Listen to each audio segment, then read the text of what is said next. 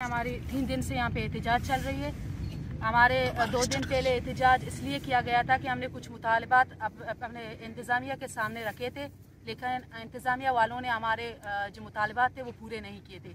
हमारे कुछ स्टूडेंट्स उन लोगों ने गिरफ़्तार भी किए थे। उसके बाद जो कल हमारे यहाँ यूनिवर्सिटी के अंदर एहतजाज के अंदर इन लोगों ने 12 बजे दो वीगो गाड़ी आए थे, जो मुसला अफराद थे, उन लोगों ने शबीर बलोच को अगवा किया था। लेकिन हमें पता नहीं है वो किस तरह के लोग थे और कहाँ के थे। उन लोगों ने समीर बलोच को अगवा करके लेके गए। उनका पता नहीं है वो किधर है और कहाँ है। फिर इंतज़ामिया वाले आए। रात के टाइम हमें ये बताया गया कि समीर बलोच को हम रात के टाइम मतलब बाजियाब करेंगे।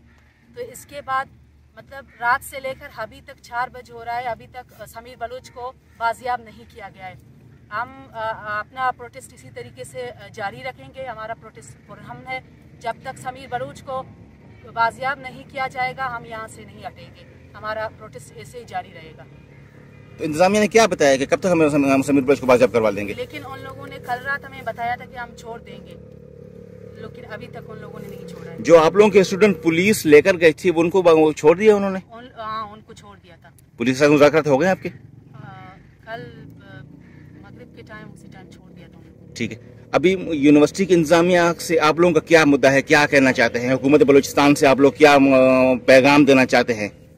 हम यही पैगाम देना चाहते हैं कि हमारे जो मुतालबात हैं वो पूरे किए जाएँ और समीर बलोच को इन लोगों ने अगवा किया है उनको भी बाजियाब किया जाए।